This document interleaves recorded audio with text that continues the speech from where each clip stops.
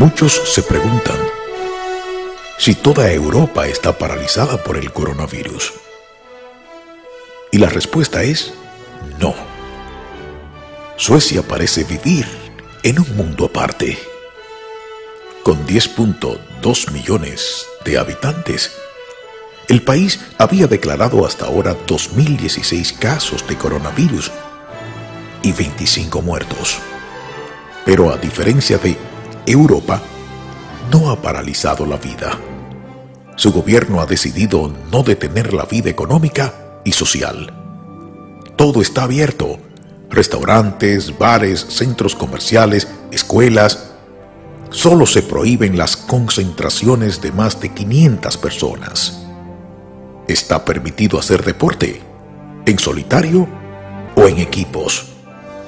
El gobierno aconseja que se mantenga una higiene escrupulosa y que la gente se encierre una semana en casa en cuanto tenga algún síntoma de la enfermedad.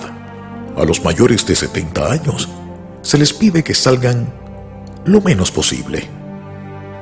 Y ha decidido mantener abierto todo el sistema educativo, pues no hay evidencia científica de que sean focos de contagio. El éxito de su modelo se basa más en la disciplina social que en la imposición de restricciones por ley. No hay ninguna restricción para salir a la calle. La gente lo hace sin formar grupos y manteniendo siempre la distancia de seguridad. Suecia habrá conseguido vencer al virus sin destrozar su economía y su vida social probablemente gracias a una población que cumple con las recomendaciones antes de que la obliguen a cumplirlas. Habló tu locutor Miguel de Jesús Rodríguez. Dios les bendice.